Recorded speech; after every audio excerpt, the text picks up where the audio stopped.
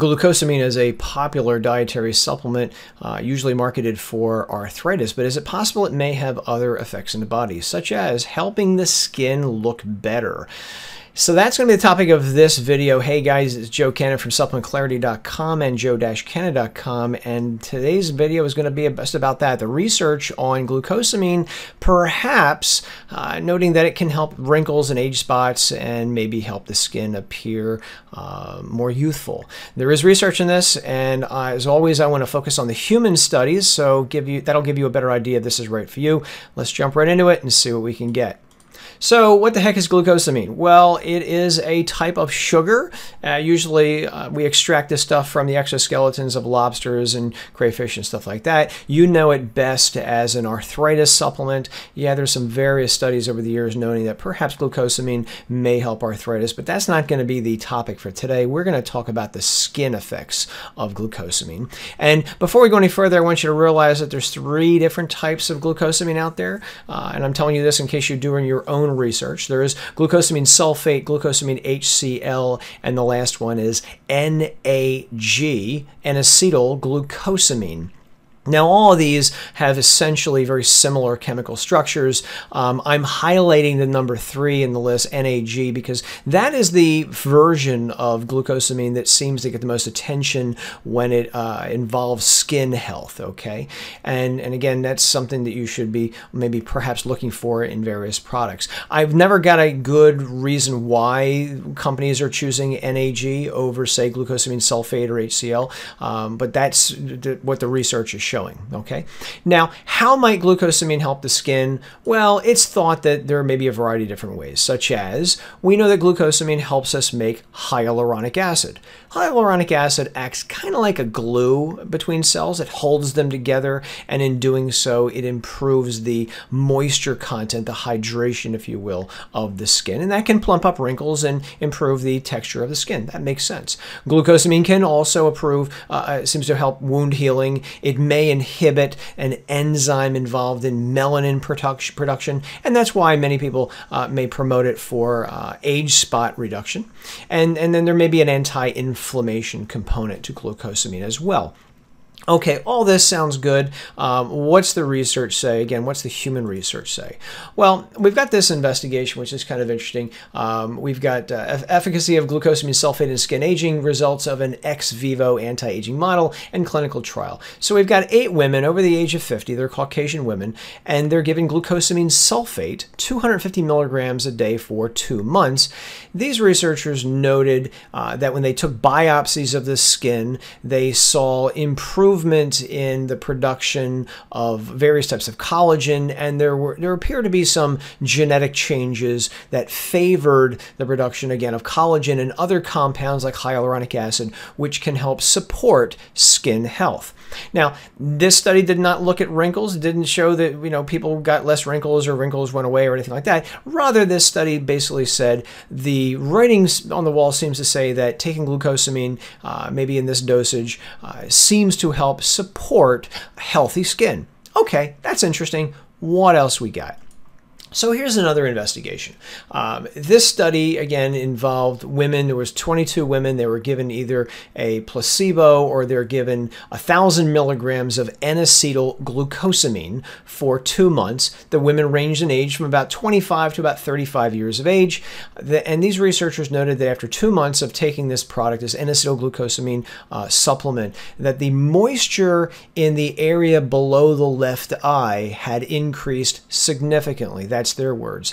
Why the left eye only? I have no idea. I can, you know, no idea about that. And then other research, uh, others, other um, studies they did on the on the skin seem to show that the N-acetylglucosamine uh, improved the roughness of these women's skin, so the skin appeared less rough. Now, all this is interesting. Uh, one thing I did notice with this investigation, because I when I when I looked at it, was that I didn't see any before and after pictures. And normally, when you're talking skin uh, and improvements, you know, I, it's my observation that people will you know post before and after pictures, and I didn't see any here, which makes me think that, you know, while the effects may have been significant, they may not have been significant to the naked eye looking at it. Uh, again, that's just my own observation. Take that for what it is. Now, I've got some other pictures I am going to show you in some other studies, so let's move on from here. So I mentioned a little while ago, glucosamine seems to play a role in inhibiting an, an, enzyme involved in the production of melanin. Too much melanin is responsible for age spots. So we've got this interesting study. It's a 10 week investigation involving a topical cream uh, that is, is, basically a 2% N acetylglucosamine uh, cream plus a 4% niacinamide uh, component as well. Niacinamide is niacin. Niacin is quite popular in anti aging creams, it has an anti inflammatory effect. And on, on another note, niacin is actually quite popular in the world of anti aging because it appears to increase the production of NAD. Uh, and I'll post links to my other videos uh, on how to raise NAD levels naturally. Niacin is quite popular. Uh, there are some supplements that uh, can raise NAD levels, but uh, I, again, I'll, I'll, link to that in the video so you can see more about that if you're curious. Um, essentially, here they find that when the women took the uh, combination of NAC, NAG, and, and N-acetylglucosamine, um, that there was less age spots on the face and the skin appeared better. Okay, what's this looking like? So here's some before and after pictures that were in the uh, study. We've got the before on the left, we've got before, on the right, we've got the after. And as you can see on the top of the screen here, um, this is what it was before the cream use, and here it is after. I see a difference. Um, I mean, it, it looks different to me. Um, this said, you know, so I, I think that's, I for me, that's significant. Um, I don't see a difference with this spot here, but I don't see anything up here anymore. I don't see anything here anymore.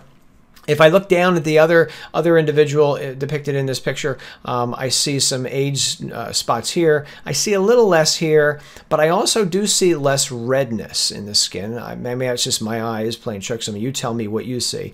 Um, I would say the top picture is a little bit more dramatic than the bottom picture. So again, I'll leave that to your your your good judgment of whether this is a significant effect for you. Okay. Now, in terms of skin firming research, I left out what I think might be the best for last. This is interesting. Um, this is an investigation of a cream. It involved 16 weeks, again, uh, of, of people, again, women were taking, these were Caucasian women, by the way. 42 women were given this cream. It was actually called Neostrata. Uh, I'll link to that in the description so you can check it out. It contained N-acetylglucosamine and other uh, ingredients as well. And they took before and after pictures, and they noted that the this Neostrata cream appeared to improve the texture of the neck and uh, reduce wrinkles and fine lines, and and as in their uh, in their words, provided a more youthful, firm appearance to the skin. Um, what's the pictures look like? Well, you judge for yourself. So here's one picture of one individual's neck. Looks significantly different to me. You got before over here on the left, you got the after over here on the right. Um, I do see a big difference over here compared to over here. I see less redness down here, okay, compared to after 12 weeks of use. Okay, um, so that's one uh, picture. Here's another one. Again, much less redness around the top of the clavicle area here uh, before versus after. This whole area looks much, much less red and, uh, and, and, and pitted, if you will, from age spots. Um, again, this big line right here in the neck uh, looks much less noticeable over here. Again, I've got some lines over here on the right. I don't see them as much over here at all. So this looks pretty dramatic to me. And I got one more to show you. Here we go. Uh, again, less redness, less uh, pitted marks, if you will, from age spots. Here's before week zero, after, say, week 8, 16, I see much less. This line over here on the left, much less noticeable. Okay, um, same thing over here. I see a line over here, much less noticeable here. Uh, again, this whole area looks much better to me. Very interesting. This whole, whatever this thing is, I don't know what it is, but it's gone. This might actually just be a pimple. So uh, maybe don't take that too uh, too significantly. I think that might be a pimple to me, but I could be wrong. Um, this is an interesting uh, investigation. Again, involving a product called Neostrata. Um, one thing I did uh, notice about this uh, study when I looked at it, it was listed as a poster presentation. Um, it does appear in a journal, but again, I wonder if it went through the peer-reviewed process. Again, I couldn't tell from the study when I read it. It's just something maybe to keep in the back of your mind. So, a couple thoughts I have after looking over the various studies. Now, the first thing I'd point out to you is that most of the studies involve small numbers of women. They're usually Caucasian women, uh, and, and, and, and, and overall, there's not a lot of studies to date. There's probably more going to be in the pipeline. Most of the investigations appear to be done by Procter and Gamble. I also saw L'Oreal in a couple of the studies as well. Makes sense. They've got anti-aging products and skin firming products, so it makes sense they would support some of this research and conduct it themselves. And then my, my other point of takeaway might would be that do significant differences differences mean real meaningful differences? As you can see in some of the studies I mentioned, you know, I didn't see before and after pictures in some of the studies, which makes me think that maybe the naked eye might be able, might not be able to tell the difference. And in some of the other studies, I did see a difference. So I, I leave that to everybody's own uh, discretion to decide for themselves whether significant differences clinically mean real meaningful differences to you.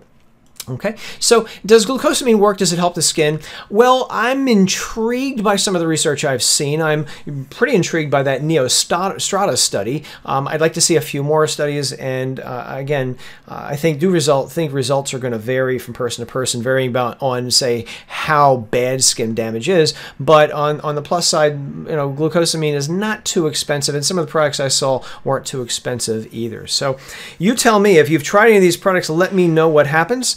Um, I'll be interested to hear your take on things. Again, I'll put links to some of my other relevant videos in the description so you could check out some other products which may help the skin as well. Until next time, guys, I am Joe Cannon. Go out, make a difference, and have a great day. Take care. Bye-bye.